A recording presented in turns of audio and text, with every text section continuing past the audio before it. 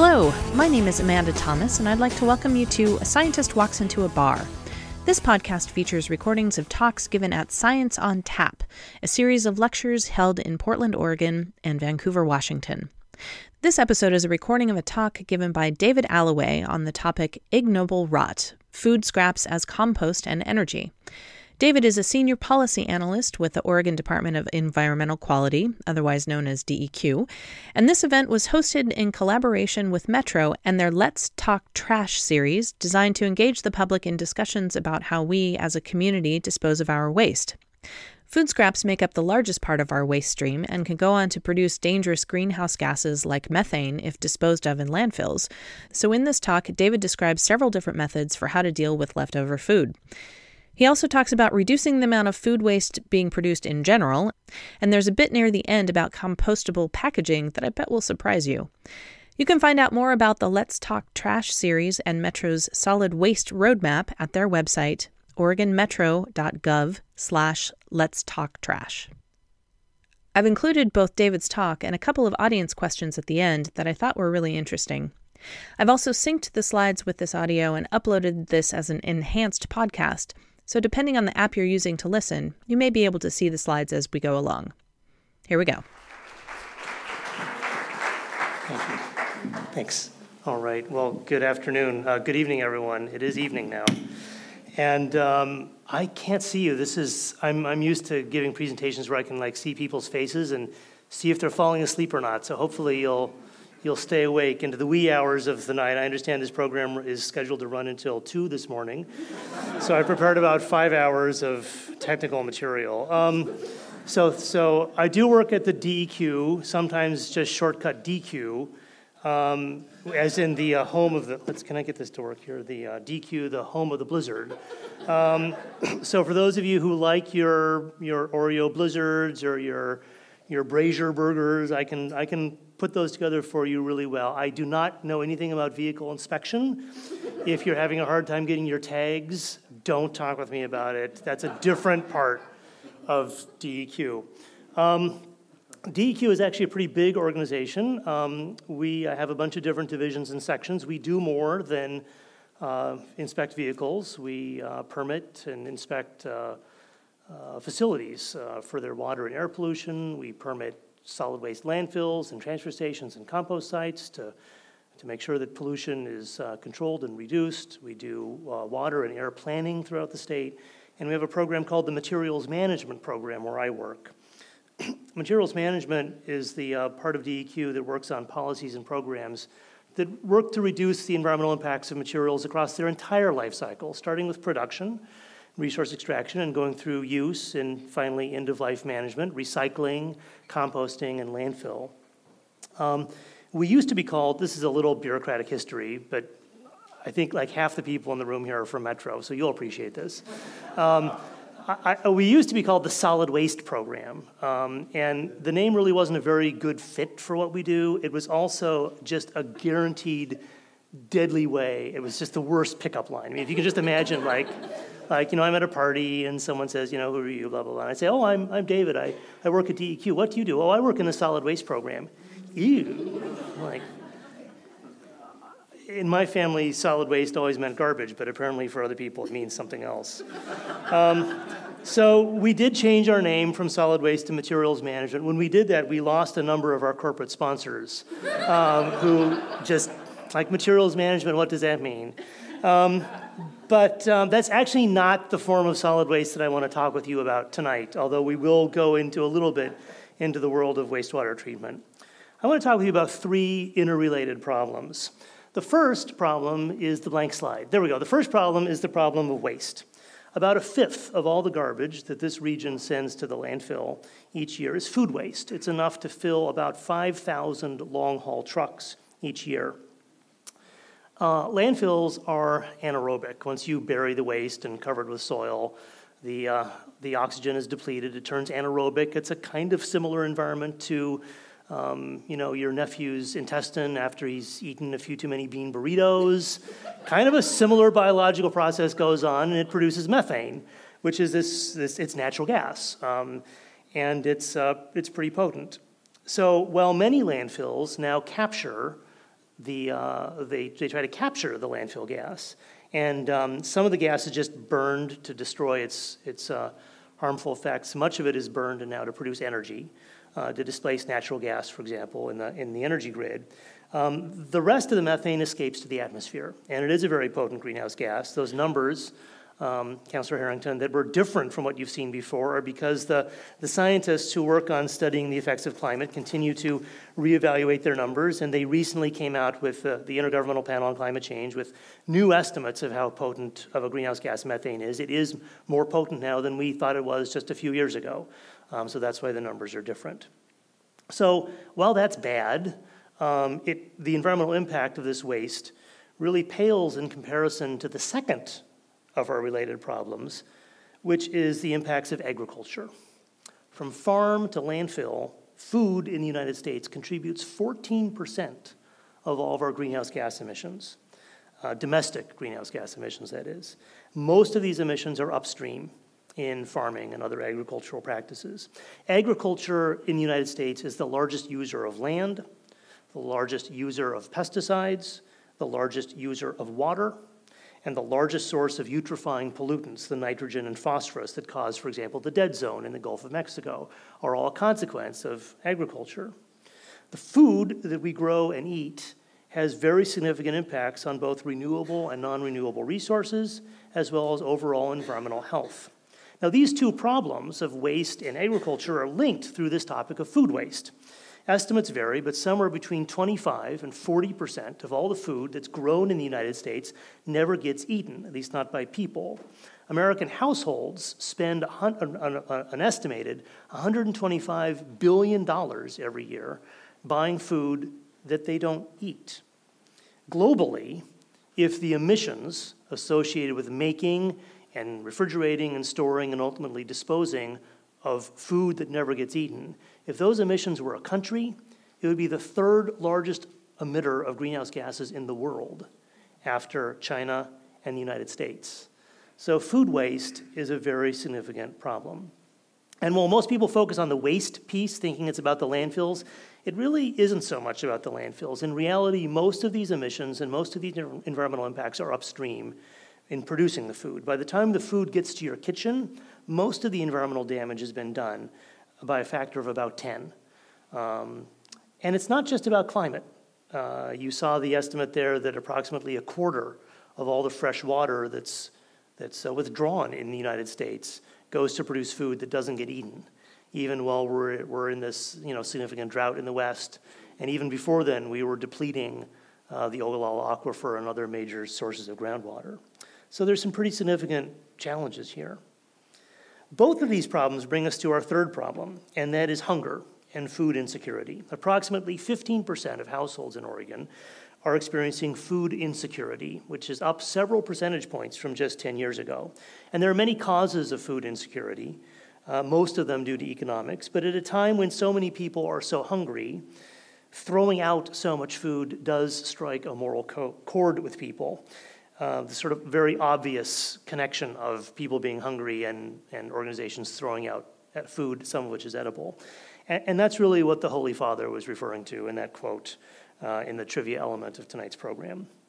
The less obvious connection, um, but the one that keeps me up at night in terms of food waste and hunger, relates to the long term loss of soil productivity and its effect on food supplies. Through tilling and other farming practices, we've been mining, essentially mining and eroding our soils. The US loses about 10 times as much topsoil as it creates. We used to lose about 40 times as much, so we've definitely gotten better, but we are still on a net basis depleting our topsoil. Uh, Chad Kruger, uh, a professor at Washington State University, has demonstrated that native soils near Pullman um, have lost between 26 and 73 percent of their carbon due to intensive agriculture. When soils lose carbon, fertility and productivity fall. Water needs and the need to um, supplement the soil with synthetic fertilizers rise.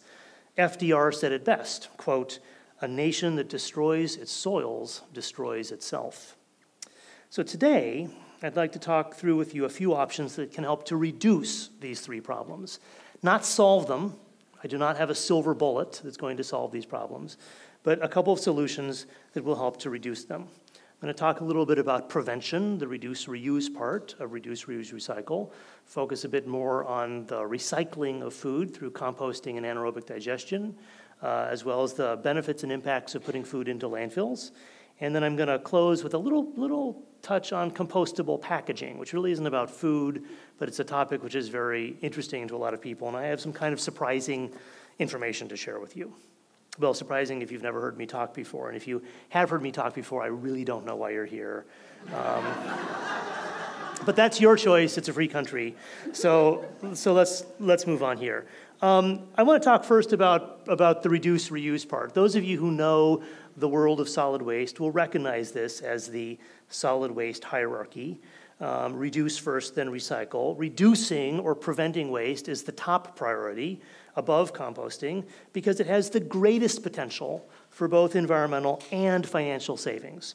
So, just as an example of this, a few years ago, DEQ um, provided a grant to the city of Hillsboro, who worked with Intel and a management consultant um, to work with two Intel cafeterias to look at the, look at the food they were wasting.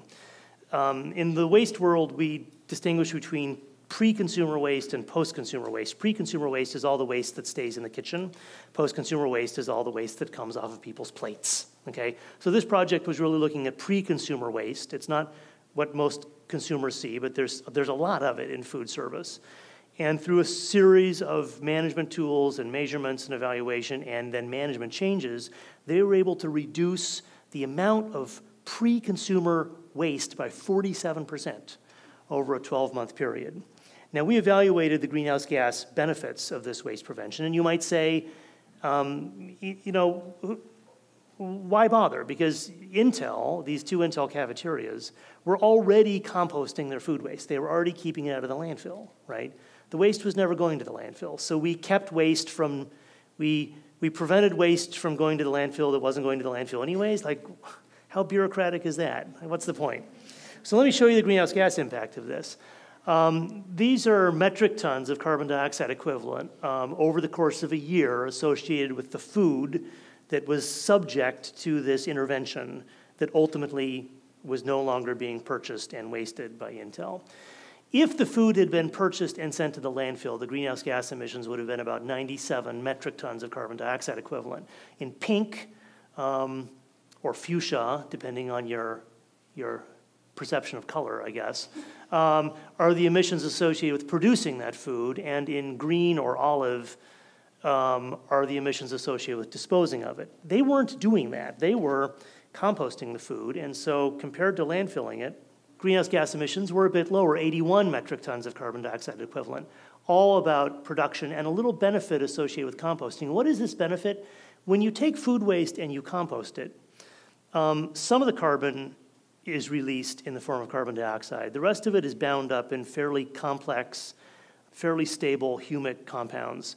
And this is carbon that used to be up in the atmosphere, okay?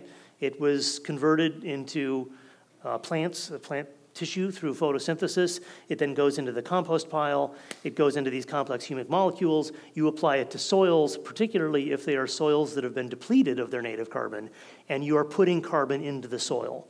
And um, that's what this blue line here is. Now, of course, if you never produce the food in the first place, because you didn't buy it because you didn't need it, which is what was going on at Intel, you don't have any of these emissions, and so the net greenhouse gas impact of that is zero. So, so Intel had already gone from 97 to 81.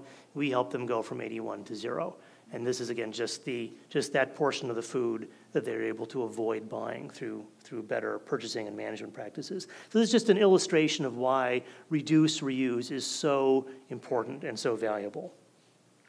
So, why do we produce so much food waste? What's driving it?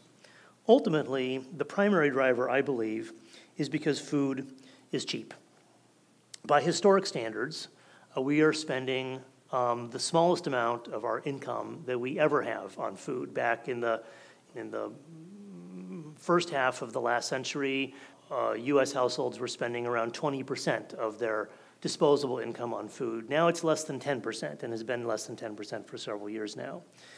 Um, and this is really a consequence of a combination of technological advancements that have brought down the price of food and also federal subsidies um, that are not reflected in this. Um, disposable income doesn't include taxes. Um, so we are paying for food, but we're in, in ways that aren't reflected here. We're paying for food through agricultural subsidies that we, we fund through the income tax. And those subsidies artificially deflate the price of food and mean and, and creates an economy which is awash in far more food than we could ever possibly eat. So um, food is cheap. And when things are cheap, we are often careless with them. We're not careless with gold because gold is expensive, but when things are cheap, we, we don't treat them with much respect. Food is wasted across the entire life cycle. Now, where the waste occurs really varies, it turns out, by country. In the United States, about 60% of all the food waste, or the wastage of food, occurs in people's homes. So it is us as consumers who are the primary responsible parties here. Another 34% or so of food wastage in the US economy occurs in retail settings. Very little of the food wastage occurs on the farm or in the factory. In some other countries, it's reversed. For example, in sub Saharan Africa, uh, the, the, the rate of wastage of fresh crops is very, very high because they lack refrigeration. So they're harvesting these perishable crops, and unless you can get them to market very quickly, a lot of them spoil and are lost before they get to market. Once people buy them, the food is so valuable to them that it gets eaten and it doesn't get wasted at the household level. So where waste occurs is very much a function of national and local economies. One very peculiar driver of food waste in homes, coming back to the United States, are those ubiquitous use by and sell by dates. Are you familiar with those? Have you seen them when you buy stuff at the store? Um, trivia question we didn't put up here how many categories of food in the United States are required to have use by or sell by dates? Anybody know? One, yes, there is one category of food which is required by law to have a use by and sell by date. And since you said one, you probably know what it is. Perfect, infant formula, yep. Uh, nothing else is required to have a use by sell by date. They're put there um, by the food manufacturers either for the convenience of the retailer or maybe for the convenience of the consumer, or if you're feeling less generous, perhaps as a prod to get people to toss out food and go buy more of it. Um, and certainly, this is a driver of food wastage in the United States. There's a lot of food which is perfectly edible that people just toss out um, because it says, oh, it's expired, so people think it must be bad. And people are risk averse, so out goes the edible food. Now, the US is just waking up to this problem of food waste, but we can learn a lot, I think, from the United Kingdom. For about seven years now, the UK has benefited from a very broad and concentrated effort to reduce the wasting of food. It's called Love Food, Hate Waste. And they have these different characters here. There's Fish Lady and Potato Head, and um, a few other folks there. Um, and what they've done through this campaign is they have reduced the amount of edible food which has been wasted nationwide by 20% over a five year period. Love Food, Hate Waste relies on two major strategies. The first is a very broad and very comprehensive outreach campaign, um, outreach to individuals. It networks through thousands of different neighborhood and civic organizations to draw attention to food waste and consumer options to reduce food waste. They even have a searchable online database of hundreds of recipes that are designed to help you eat up leftovers. So you can search by type of leftover to figure out, you know, what you could cook next. So that's the consumer facing element of Love Food, Hate Waste. But equally important is a producer facing element um, where the sponsoring organization, it's, it's a group called WRAP, um, they research the root causes of food waste and then work with food producers and retailers to try to eliminate this waste at the source. Just one example of this. What they discovered through some waste sorting and waste studies was that there was a fair amount of bread, half eaten loaves of bread, being tossed out. Why? Well, many households in the UK, as in the US, are very small. They're just one or two person households. And unless you're a really big carb eater, and a lot of people are moving away from carbs, uh, or you're willing to refrigerate or freeze your bread, which some people do, but some people don't do, it's very hard to get through an entire loaf of bread before it starts to spoil. So here's an easy solution that doesn't require trying to convince 100 million consumers to change their behavior. sell smaller loaves of bread, right? So that, that's what they did is they worked with the bakeries and the retailers to start offering you could get the standard size loaf or you could get the smaller loaf and the retailers love it because they're still selling bread and they still get markup. And the consumers like it because if they're not going to eat that much bread they can take home fresh bread and eat it all before it starts to grow fuzzy green stuff on it. Um, so that's just an example of the sort of work that they've done Closer to home, communities on the West Coast are also starting to focus on this. This group called the West Coast Forum on Climate and Materials Management has created a US version of Love Food Hate Waste called Food Too Good to Waste. And this um, focuses on five key consumer behaviors that are, that are the most critical ones for reducing food wastage in the home. Um, the first is really sort of a measurement component. They encourage people to put their food waste in like a clear plastic container for a week and weigh it every day, just to get a sense of how much food you're already throwing out and, and understand why. And then from that, to focus on buying what you need. When you, when you go shopping, shop from your cupboard and your refrigerator first instead of going out to the store and buying everything new. Smart storage. I didn't realize this, but it turns out that certain vegetables and fruits should not be stored next to each other. Um, some, some are best stored in the refrigerator, some are not. Smart prep they recommend that if you go to the store and you buy a head of broccoli or a, or a, a, a clump of celery intending to eat it as snacks over the week, bring it home, and even before you put it in the refrigerator, cut it up and put it in the fridge so it's ready to eat. And then you're much more likely to actually eat it as opposed to it being relegated to the back of the produce store, drawer and turning into green goo for three weeks. And then smart saving, actually eating what you buy. And and one common, one very effective strategy here is just to have a certain part of your refrigerator, um, which is the dedicated place where the really perishable stuff goes, and put that in the front, so that when you come home and you're looking for a little something to nibble on, the stuff that's going to go bad sooner is there in front of you, and you're more likely to draw from that. Now, what they found through a series of pilot projects um, implementing these five measures is that households can reduce their preventable food waste by, by over 50% by weight.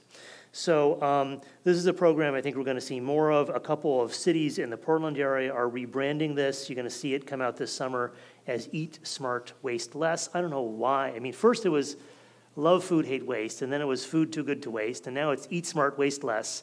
But anyways, they're all doing the same thing. You can go to this website, and um, and you'll be seeing if you go to farmers markets in the Portland area this summer. I guarantee you, you'll be seeing more of this soon. So it's not all just about households. I want to mention two other waste prevention efforts. Um, there's a management consulting company here in the Portland area called LeanPath. They work with, with uh, large food service institutions and businesses throughout the U.S. Uh, to help them reduce their wasting of food. The Intel pilot project that I mentioned earlier uh, worked with LeanPath. And then there's a project I love called Fork It Over, which focuses a little bit more on landfill avoidance and feeding the hungry but it's still very valuable. It's, it's really easy if you're a restaurant or a grocery store to set aside the dry food, the non perishable food that for whatever reason you can't sell. The perishable food is the problem because a lot of food rescue organizations, you know, Snowcap and, and you know, food pantries and whatnot, they don't have refrigerated storage, they don't have refrigerated trucks. And so Metro has provided um, close to a million dollars in grant funds to help organizations like the Oregon Food Bank and Snowcap buy that refrigerated equipment so that they can get out to these restaurants and grocery stores and salvage that perishable food, which is generally much more nutritious, and redistribute it back into the, the, um, the homes and the tummies of the people who really need it.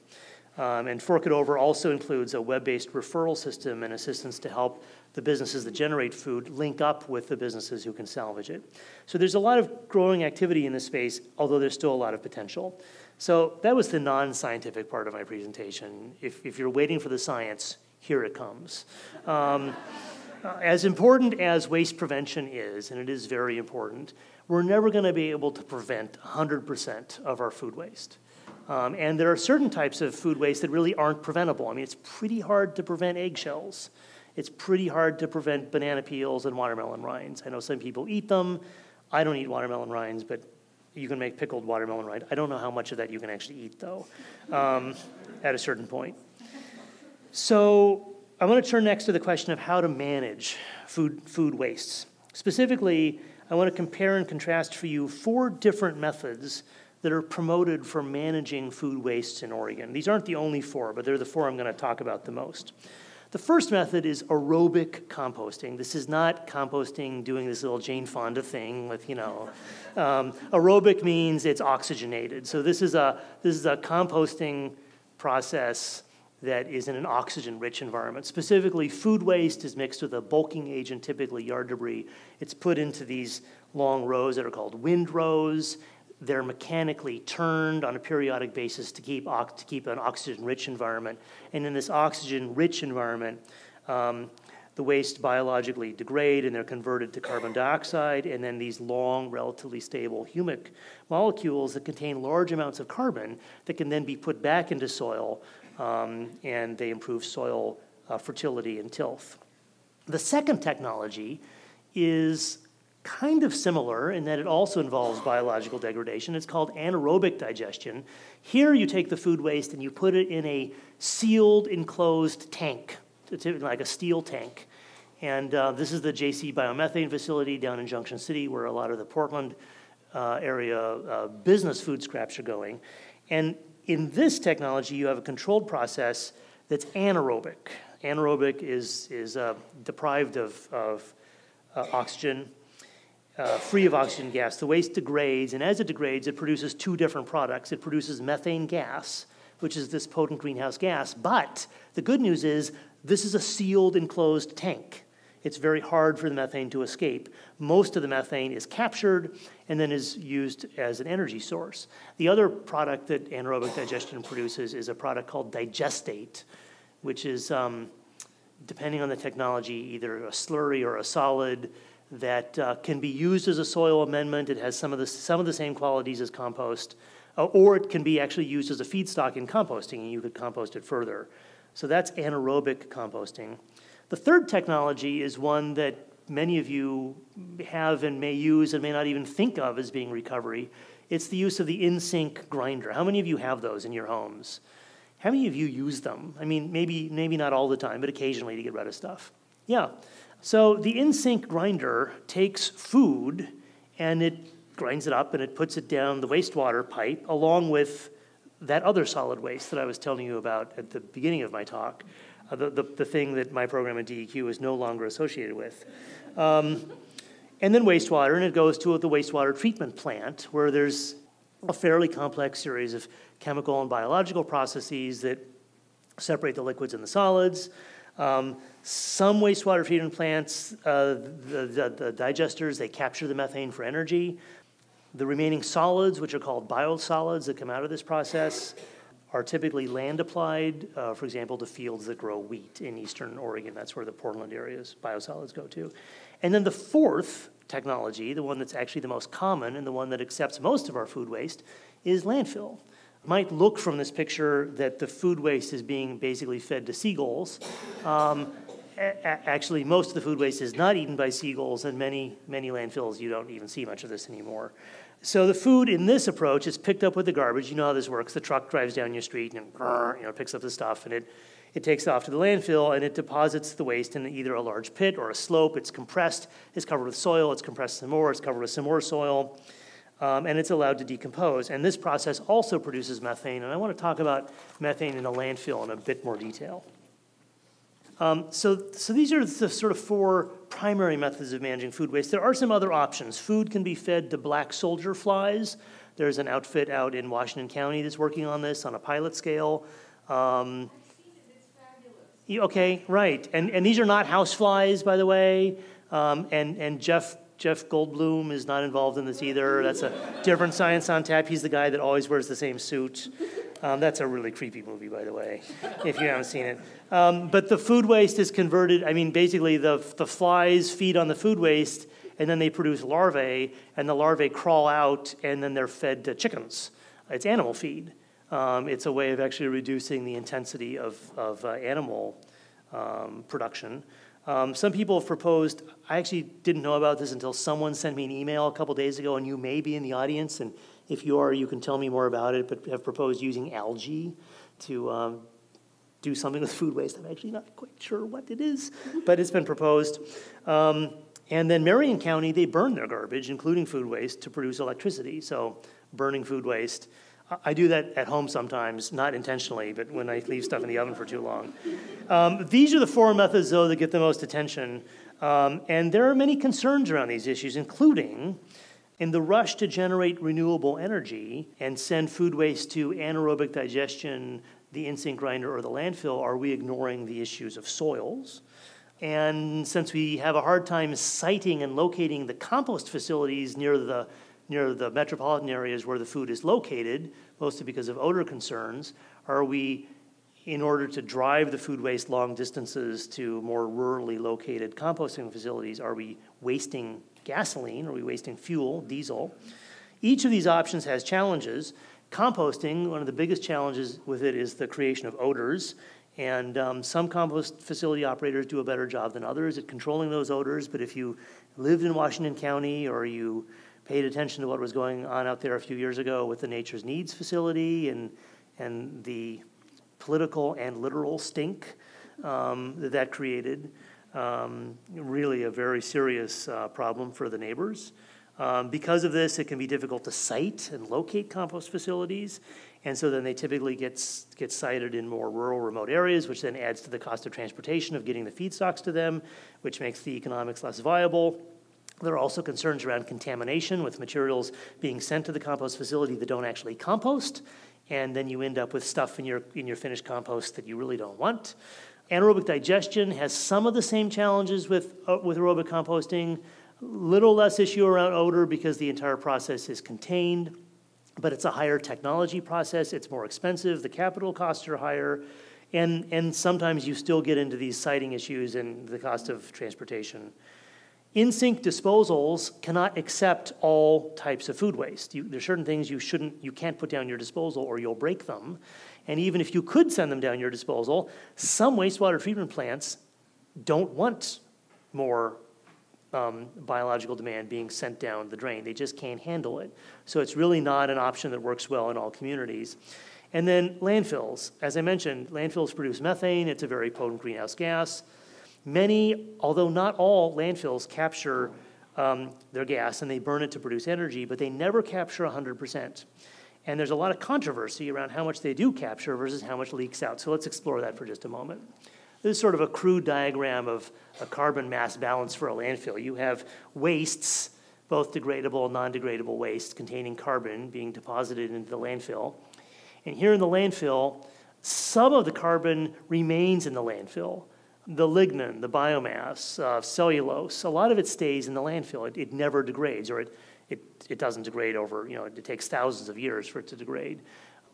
Some of the, a little bit of the, um, the carbon uh, comes out of the landfill in leachate. leachate is the, um, is the liquid that drains out the bottom of the landfill as rainwater or snowmelt percolates through the landfill and it comes out the bottom.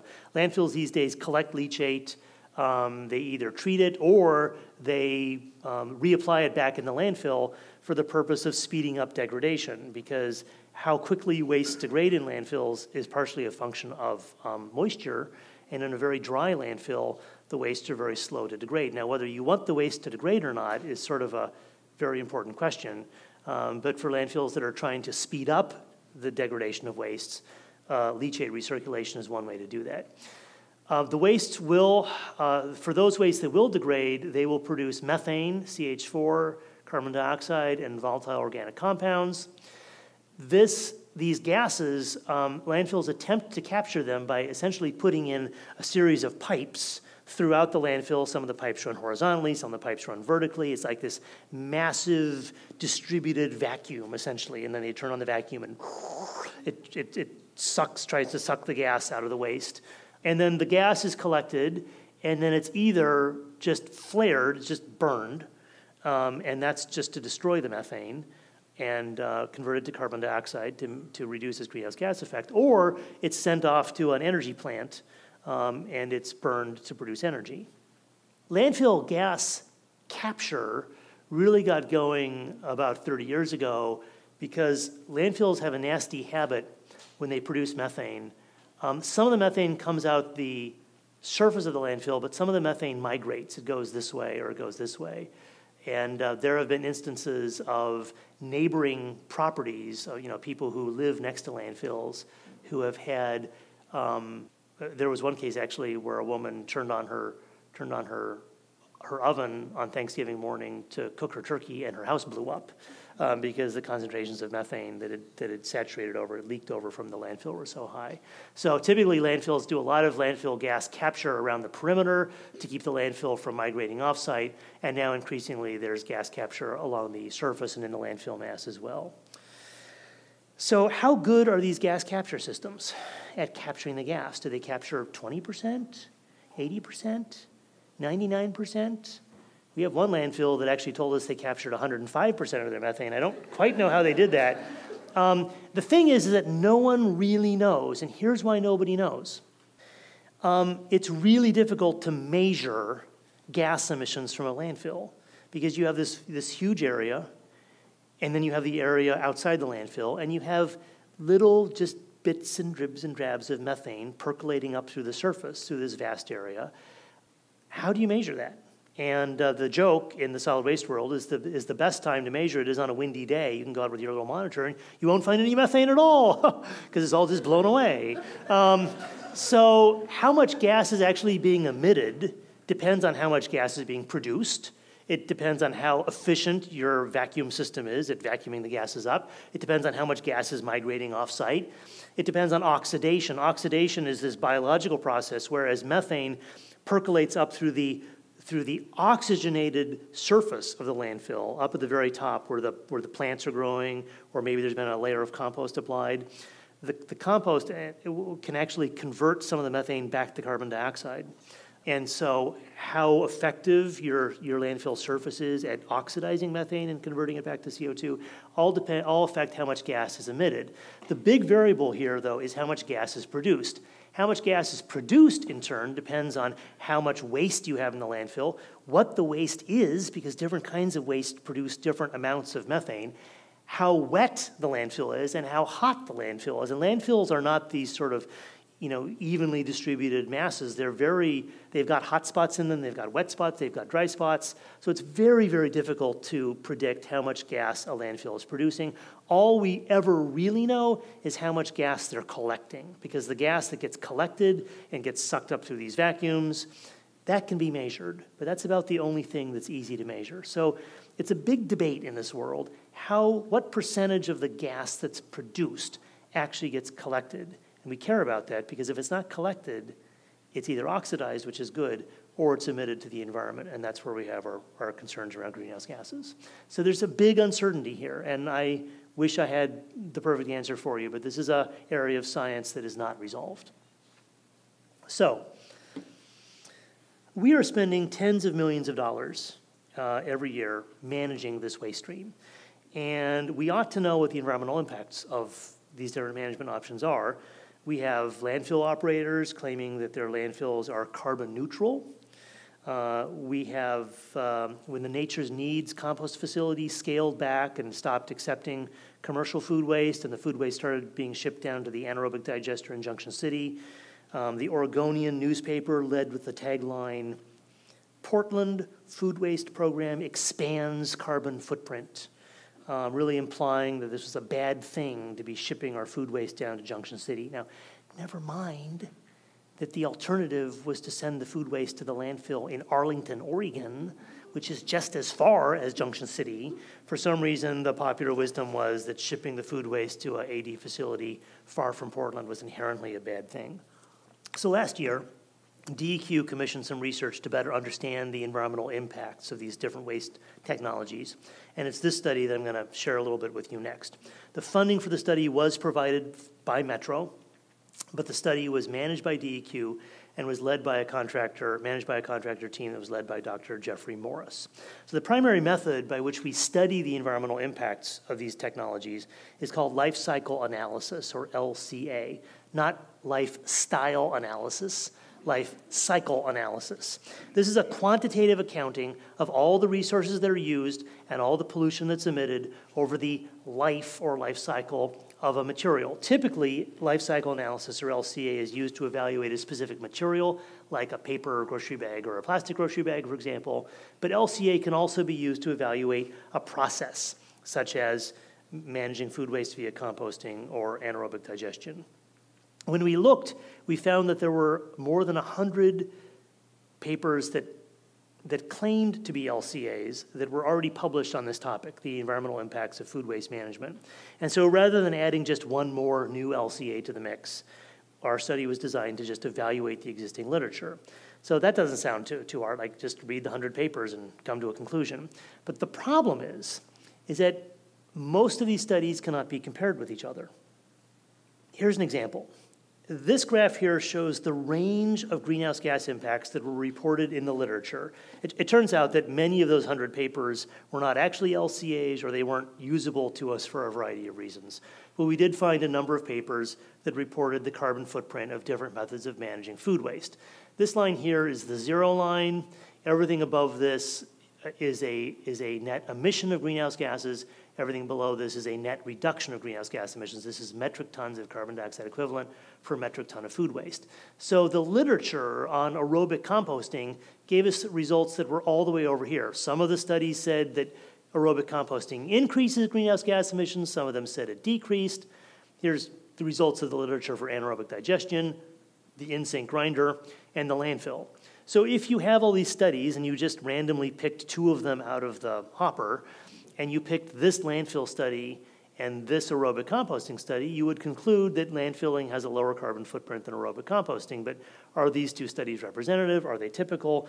Or more importantly, can you actually compare them? Because you can imagine when you do one of these life cycle studies, there's a lot of assumptions that go into them. And what we found was a tremendous amount of inconsistency. For example, some studies included in their analysis the actual carbon emissions associated with making the concrete that was used in the, in the facility to lay the pad, and other studies didn't. So if you have one study that includes the impacts of building the facility and another study that doesn't, those aren't comparable. Some studies would count the impacts of driving the collection trucks around, some studies wouldn't.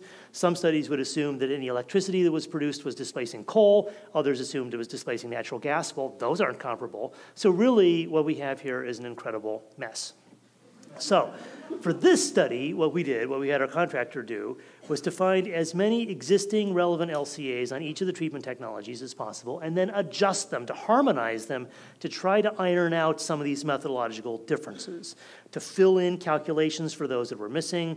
Um, for example, some studies included the impacts of collecting the food waste and others didn't. So for studies that were missing those, we added those numbers in, okay, to try to get these studies a little bit more consistent. Um, at the same time, we wanted to preserve the underlying differences caused by local variables because you can imagine if you, if you, if you forced too much harmonization onto the studies, you would force all the results into a single data point, right? If you made all the studies use exactly all the same assumptions, you would get exactly the same result at the end of the day. So that's sort of pointless. So we were trying to harmonize where it seemed appropriate to harmonize on these variables here. If some studies included carbon storage, we wanted all the studies to include carbon storage. Um, and that's, again, the carbon that gets stored in the landfill or gets stored in the compost.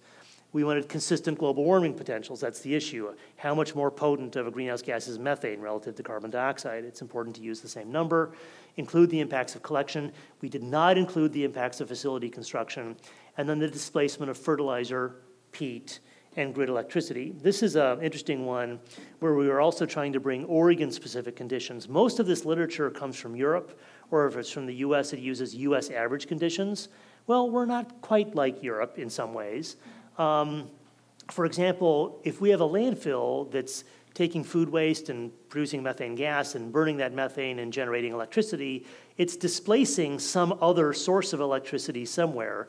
What's the greenhouse gas benefit of that? Well, to answer that question in this study, we used an Oregon average marginal grid mix um, to, to, estimate the, the greenhouse gas benefit. Another important one is the utilization of compost and digestate. How do people actually use the compost? And what's the benefit of that? We don't really have a very good understanding of how compost gets used, um, but in Oregon, it's different than, say, in, in California. In California, um, most of the compost is used in agriculture, in growing crops. And in California, one of the big benefits of using compost in agriculture is that compost conserves uh, soil moisture, and so it reduces the amount of ir irrigation that's needed.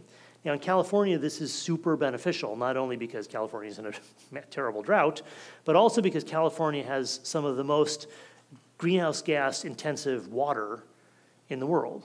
If you think about how California gets its water, it pumps it you know, several thousand feet over mountains to get it down into the Central Valley, uses electricity. The, the California water system is the largest single user of electricity in the entire state. So water in California has an incredibly high carbon footprint, and conserving water and reducing water use is one way to reduce greenhouse gas emissions. In Oregon, it's a little different story. Most of our compost is used in landscaping applications.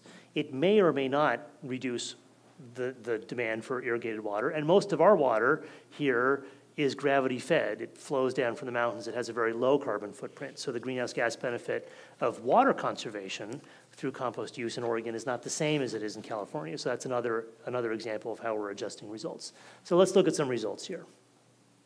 Okay, so this is climate impact. The pink bars you've seen before. These were the results before harmonization.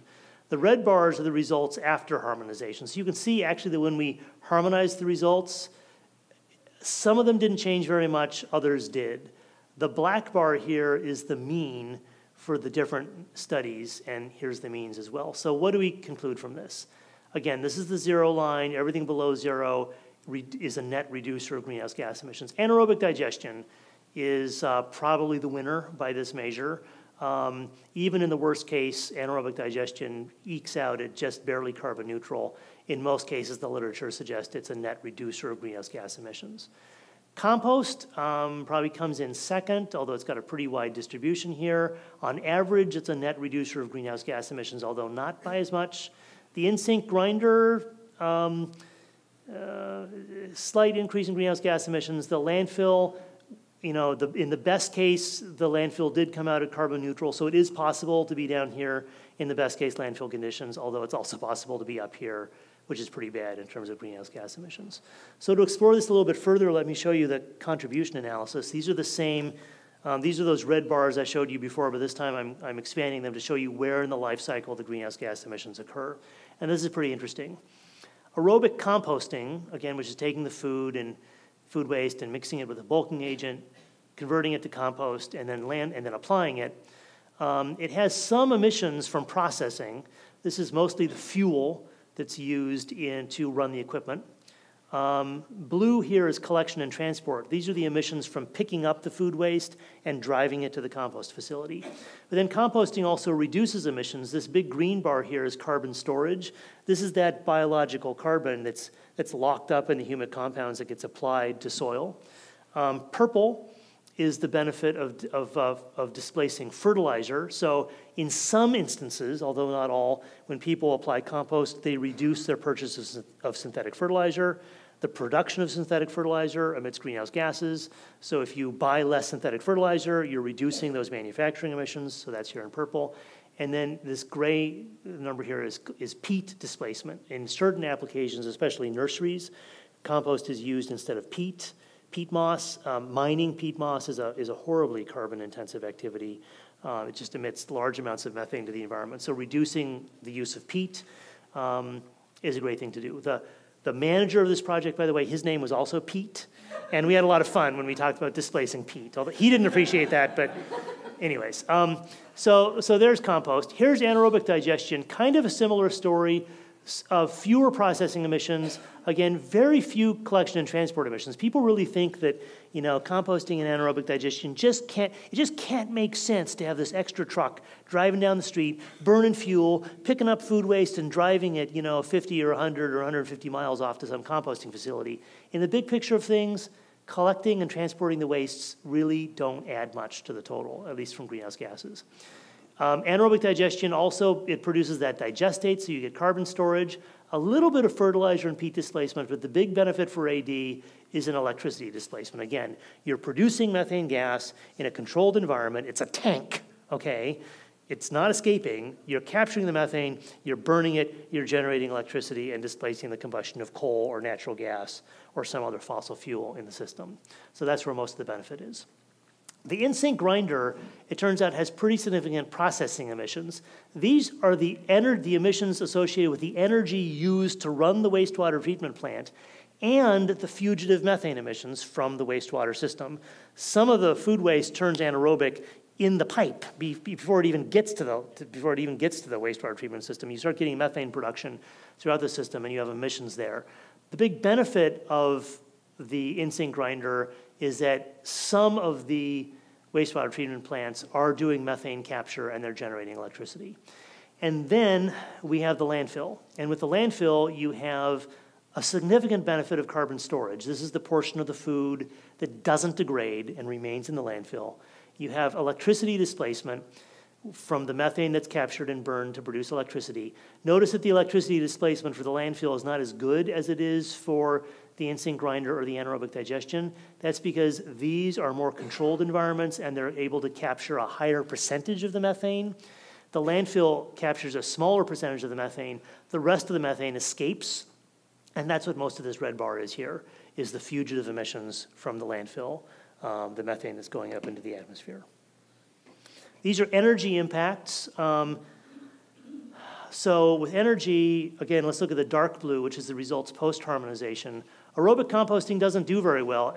It doesn't really save very much energy. It uses energy, it doesn't save much. Anaerobic digestion, this was really an odd case where, the, and it was very strange, there was only one piece of literature we could find that, that um, met our criteria. And when we did harmonization, the results um, went from being a net producer of energy to a net user of energy, although it's still fairly low. The in-sink grinder comes out the best, and the landfill is sort of in the middle there in terms of its energy impact. So from an energy perspective, these technologies are the best, followed by the landfill, and then aerobic composting scores last. Now, the one other type of environmental impact we looked at in our study was the impacts on soils. Now, soil impacts are a little bit harder to evaluate. Um, and they're very, very complicated. In the US, however, decline of carbon in soils um, has been accompanied by a decrease in soil fertility and functionality. And it has very far reaching impacts because when you have lower quality soils, you get lower yields per acre. So, which re- either requires more acreage and production to produce the same amount of food or more intensive production, more synthetic fertilizers. Um, and the decline in soil quality is due in large part to the losses of soil carbon. Um, soil carbon has impacts not only on concentrations of carbon in the atmosphere, but also how functional soils are. And as soil quality and functionality decreases, then you increase fertilizer use, you increase water consumption, uh, you decrease yield, and that in turn impacts greenhouse gas emissions and energy use. Just because these impacts are really hard to quantify doesn't mean that we we shouldn't try to, or that they're not important. So what we did in this study was we looked at four different types of soil impacts. So carbon benefits, fertilizer replacement, water conservation, and yield increase. And one of the members of the consultant team, Dr. Sally Brown at the University of Washington, did a qualitative ranking of these different um, technologies. Uh, here in this case, five is the optimal benefit, zero is no benefit. And when you look at the different soil impacts, her conclusion was that aerobic composting and anaerobic digestion have the highest benefits to soil quality. In-sink grinder mm, comes out sort of in the middle, and landfill has relatively little benefit to soils, which makes sense when you think about it. So here are the final conclusions of the study, ranking the four food waste treatments uh, where one is best and four is worst. Anaerobic digestion in this study sort of comes out as consistently at or near the top in terms of the different types of environmental impacts we were evaluating. Aerobic composting is also quite good except for energy. Um, not, there's no energy savings from aerobic composting or very little energy savings. The in-sink grinder uh, is consistently comes in third except for energy, uh, where it seems to be the best, and then the landfill consistently came in last. So that's not to say that there's no benefit to sending the food waste to the landfill because there is some benefit. The landfills are capturing some energy from it. Um, and it's easy and convenient because you don't have to separate anything. You can just mix it all together and send it off to the landfill. But there are some different methods of managing these food waste, which on average, based on this study, would yield reductions in greenhouse gas emissions, improvements in soil, and reductions in energy use. So, where are we? We're getting close to the end. I want to change gears one last time and um, talk for a few minutes about compostable and degradable packaging. So, having established that composting is has several advantages over landfilling, and that degradable waste in landfills produces methane, which can be used to generate energy, compostable or degradable packaging might sound like a good idea. The question is, is it? In popular wisdom, it certainly is, but I want to um, dispel a few myths this evening. Before we go there, I want to get clear on a couple of terms because um, there's a lot of confusion on this topic. Um, the first is that compostable and degradable are not the same. The environment in a compost pile is hot, aerobic, and wet. And most compost facilities turn material over in a fairly short time period weeks to months, not years. So if something is going to compost, it has to degrade in an environment that's hot, aerobic, wet, and it has to degrade quickly. Degradability can actually mean degradable in the landfill or degradable just as litter. Like, you know, if you toss something out your car window and it sits there on the side of the road, is it going to degrade? Those are, again, two very different environments. Landfills can be hot, sometimes they're cool, they're anaerobic. Um, depending on the landfill, it can be high moisture or low moisture. And of course, you have a long time when it's in a landfill. So compostability and degradability are not the same. The other thing that people get caught up on is people assume that if something, if you have a packaging material that's made from a plant, it's compostable, and if it's not made from a plant, it's not compostable or not degradable. And that's also not necessarily true there's all these different packaging materials, you know, food boxes and, and forks and spoons and whatnot that are, that are made from plants. They're bio-based, but not all bio-based materials actually compost or degrade. We also have some conventional fossil-based plastics that have metals added to them that speed up degradation. If you've ever been to the farmer's market and you pick up that plastic bag and it says oxo-degradable, that's a conventional plastic bag made from natural gas or petroleum that has some metals added to it that cause it to break down and degrade. And people assume that's a good thing, um, although potentially it isn't. In the case of those plastic bags, if you were to recycle them, Think about it for a moment. You take a plastic bag that has an additive in it that's designed to break down, to break chemical bonds when exposed to sunlight or oxygen, and you take that plastic, you send it off to the recycling center. The recycler sells it to some company who uses it to make house siding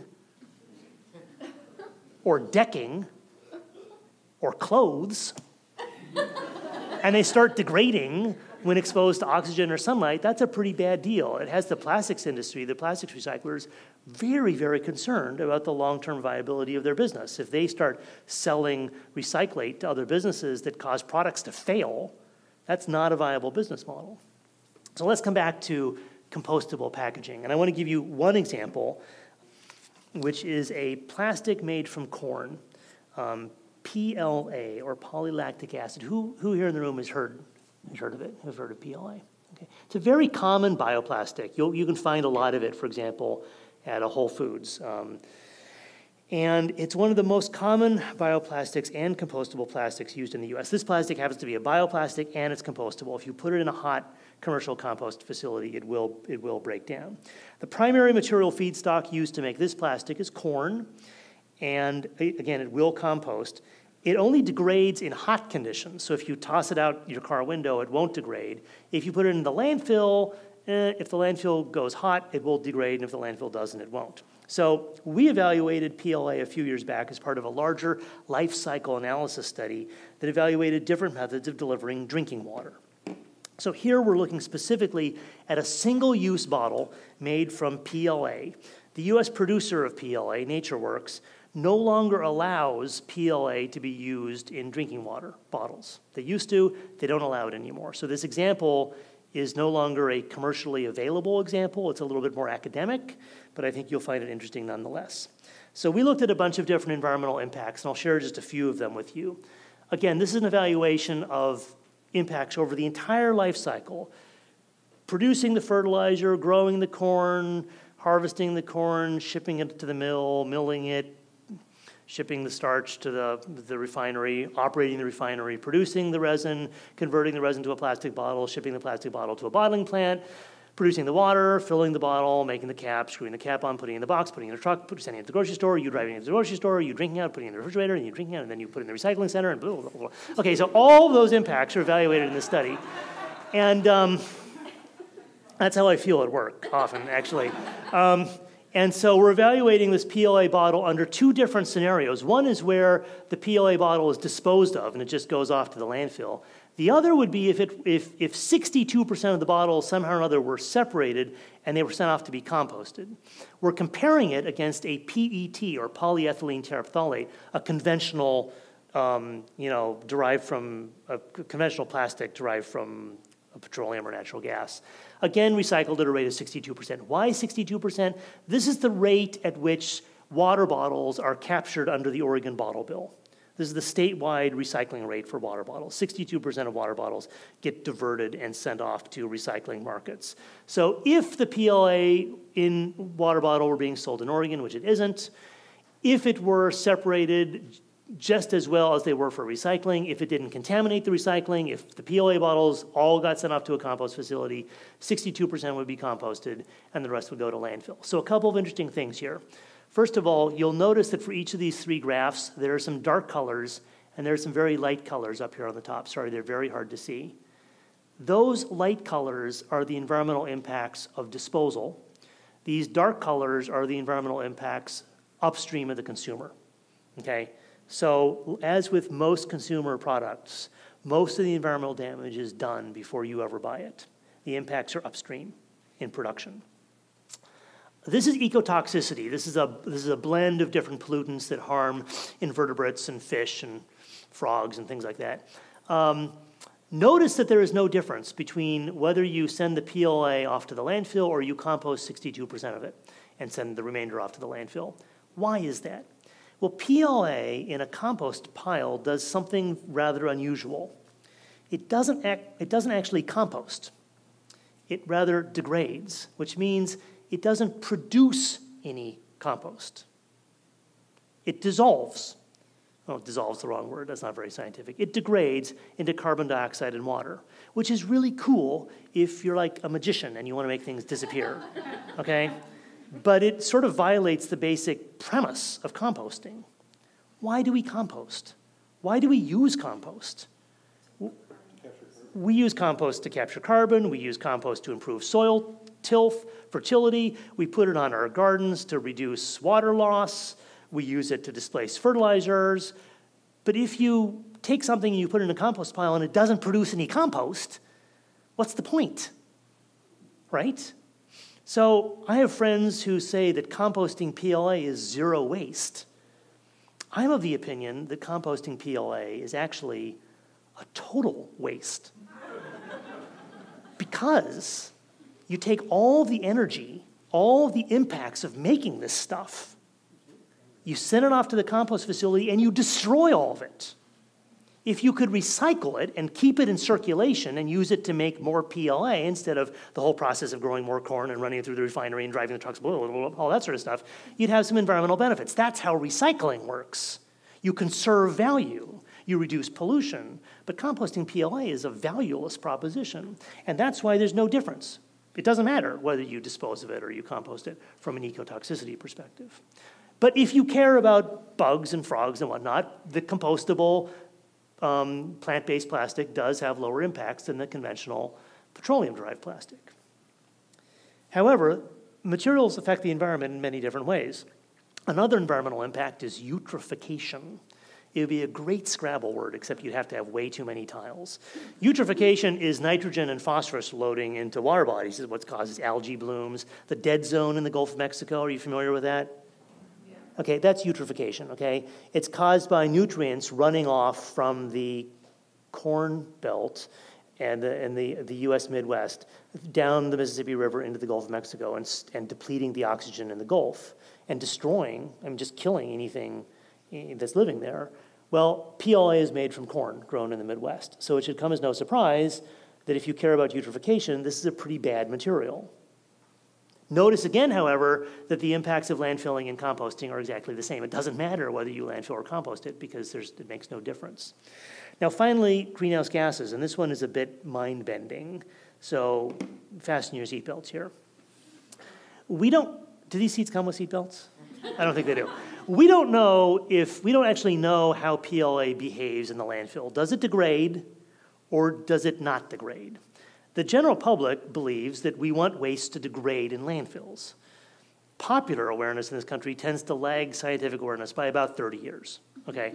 So 30 years ago, we had a landfill capacity crisis. Metro had a landfill capacity crisis. We were literally running out of places to put our garbage, and it created this perception that we were running out of places to put our garbage, and so we want all of our waste to degrade because we want to conserve our landfills. As if they're like whales or spotted owls or something.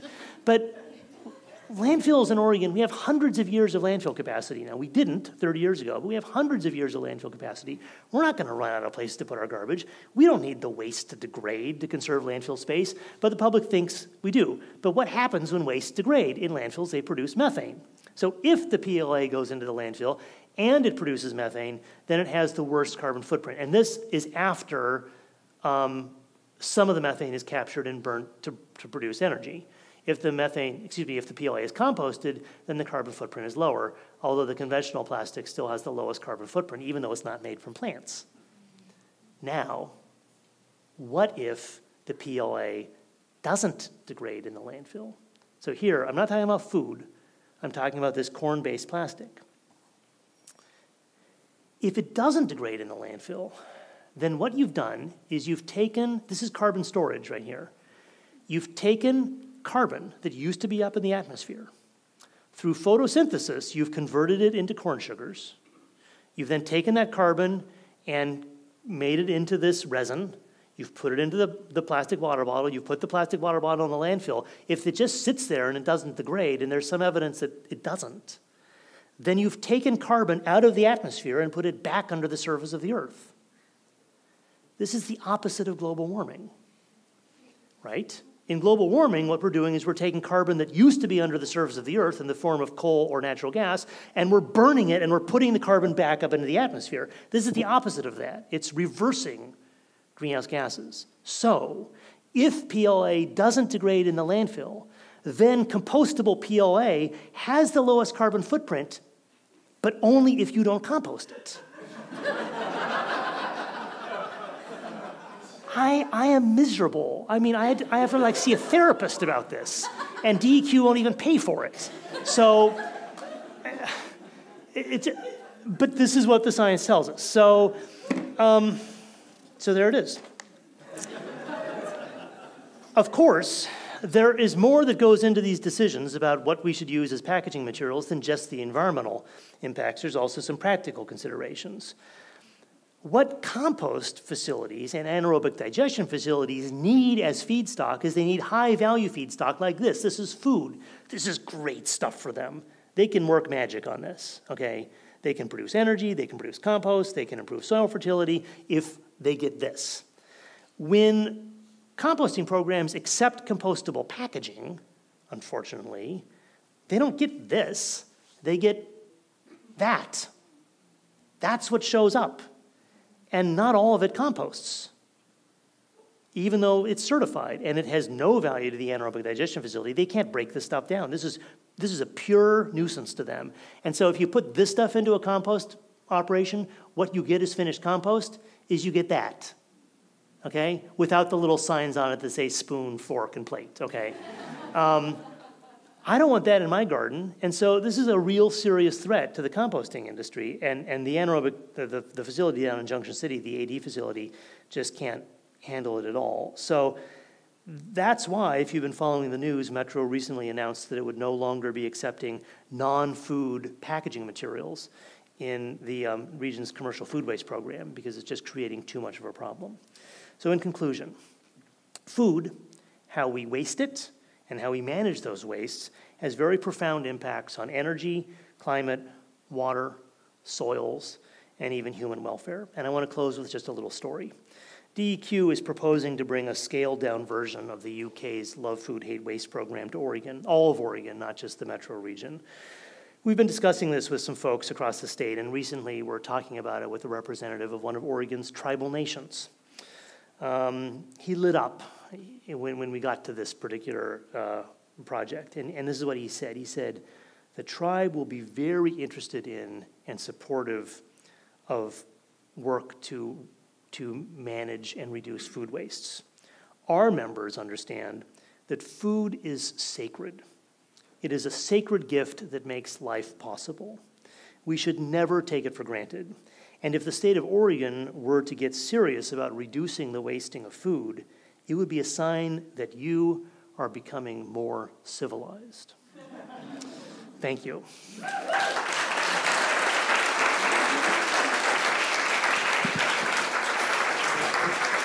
Thank you, David. That was fascinating. Uh, hopefully, we'll get the lights back up uh, and we have some time for questions. Yes. So, I'm going to start out with a question. If you have a question, raise your hand and I'll try and get to as many of them as we can.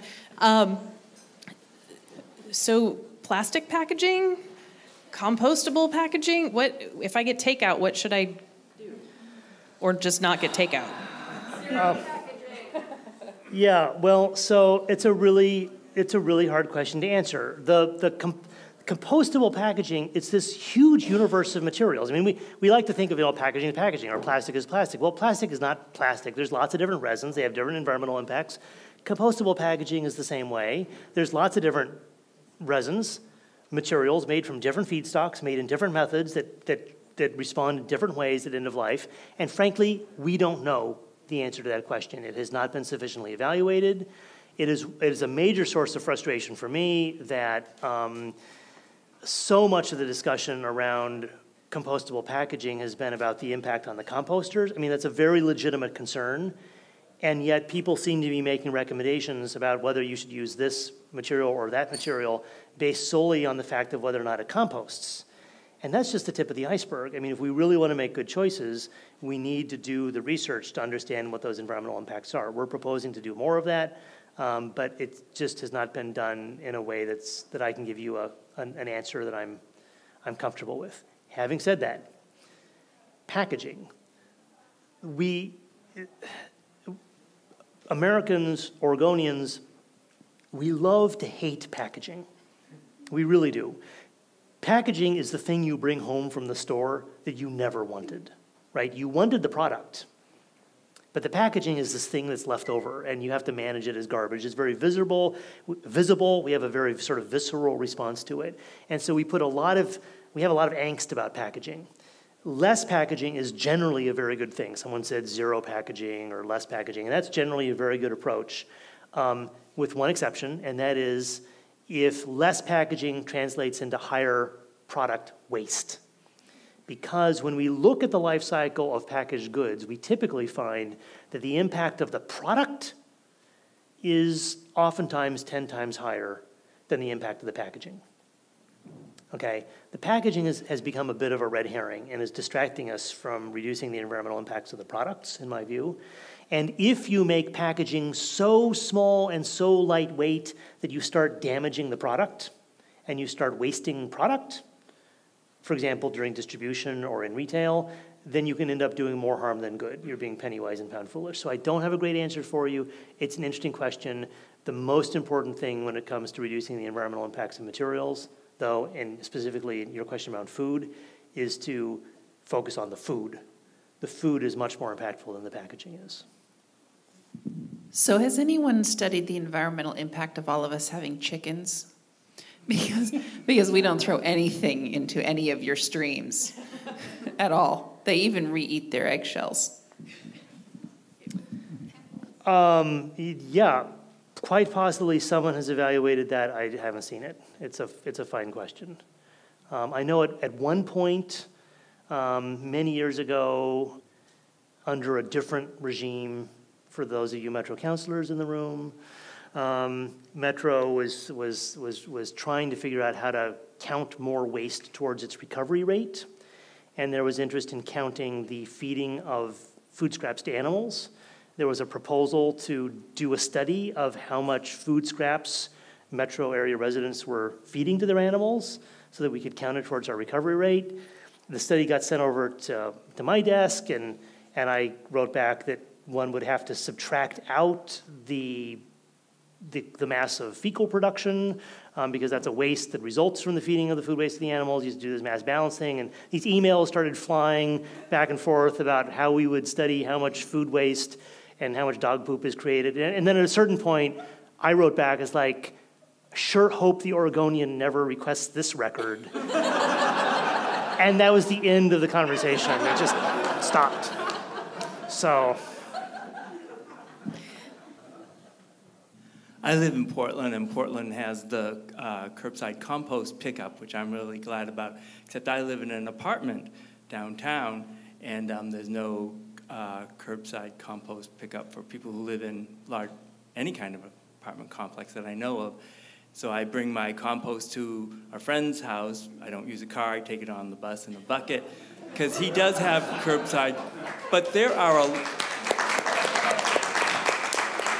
but there are a lot of people in Portland that live in apartments, and um, they probably don't go to that kind of trouble. So what can we do for people in apartments to get them compost pickup? I think, I think if there's anyone in the room from TriMet, I think they should get right on that. uh, in all seriousness, is there anyone from the city of Portland here who'd like to speak to that? So, first of all, um, there are apartment complexes in um, Portland that are composting food scraps. There's about 200 communities that are doing that already. And it really depends on um, your complex. So, your manager of your building um, contracts with um, the garbage and recycling collection company and sets up the service that they want to provide. And they can add compost um, collection if if that's something they're interested in doing. Um, usually, when we work with communities, we there's certain things that we want them to do. Um, we want them to reach out to the residents ahead of time and um, make sure that there's a certain number of people that are going to be on board because um, it really won't work if the residents of the building aren't aren't super on board and super excited about it. So, but we're happy to talk to you about um, how you can get composting going in your building if you want. But it's more complex. There's a lot of different types of buildings and sizes of buildings, and how does the waste get collected? And so, it's a lot more um, homogenous in single-family houses. I have spent a fair amount of money on compostable serviceware hmm. um, at home, at my church, family events. So you've kind of busted my bubble tonight. I wonder if you could tell us how you really feel about it, or if there's anything good or redeeming about it at all. Well, thank you. Yeah, there, there is something. Eh, so, again, I can't speak to the environmental benefits of compostable because compostable is so big, there's so many different types. It's sort of like asking me to speak about the quality of people who live in Idaho. Okay, I mean, you know, there's some nice people who live in Idaho, and there's some not so nice people who live in Idaho. Okay, so I, it's sort of hard to draw generalizations about it. In the PLA example that I shared, the compostable PLA, there's no clear winner. But the compostable PLA has some environmental benefits that, that have nothing to do with composting. It's, it's because of how it's made. So there are some, you don't, you don't feel bad about using the compostable, but maybe feel good because of what the material is in the first place and how it's made. It may have a lower environmental impact. I can't guarantee for you that it does because I don't know what it is and I haven't seen it studied. Um, my, my point here, and, and, I'm sorry if it, if it's making people uncomfortable, um, actually, it, it, I could do a whole other evening talk about this maybe sometime in the future. But my point here is that for the last 30 years in this country, we have made, let me step back. If, if as producers and consumers, we want to reduce the environmental impacts of materials, well, then what we're trying to do is we're trying to reduce actual environmental impacts. We're trying to reduce loading of toxicity into the environment, we're trying to reduce greenhouse gas emissions, we're trying to reduce water consumption, et cetera. So in an ideal world, we would evaluate materials for those environmental impacts, we would measure them, and then we would make our decisions accordingly. But that's not how we do things in this country. Because it's so hard to do, and it used to be very difficult, it's become much easier in the last five or 10 years, but because it's so hard and so out of reach for consumers, we rely on attributes. We go with things that are compostable or recyclable or bio based or local under the hope and the assumption that those attributes correlate with actual reductions in environmental impacts. Because what else can we do? I mean, we have limited bandwidth. We have to make quick decisions. We're not going to go out and commission these $50,000 studies to figure out what sort of servingware to serve at your church. And so we use these attributes. What I'm sharing with you is the attributes, and I have many other examples of this, the attributes aren't very good. They are not good predictors of environmental impact. Um, a Ouija board might be better in some cases. And so, what we need as a society is we need better evaluation of the actual environmental impacts of the materials because that's what we're trying to reduce. We, want to, we need to measure what it is we're trying to manage, and we're not doing that right now. So, we actually have a bill that's working its way through the Oregon legislature right now that would provide some resource to allow us to start doing more of that work, um, which is about 30 years overdue, but better late than never, I say. So I'm sorry, I don't know. We need to know. We really need to know. And it may be that the, the dishware you're using is actually a good environmental choice, just not for the reasons that everyone thinks it is. So that's a very unsatisfying answer. I'm sorry, but that's the scientific answer. With that, I think we will say thank you to David Allaway.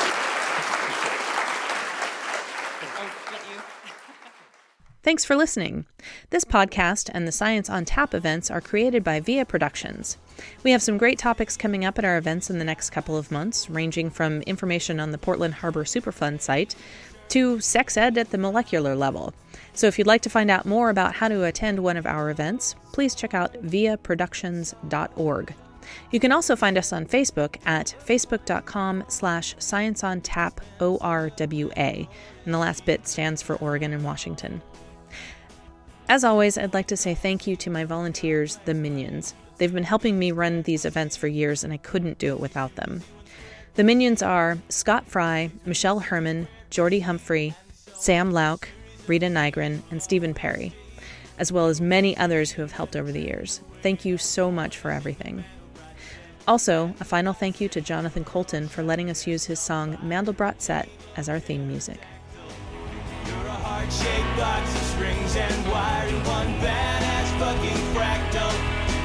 Just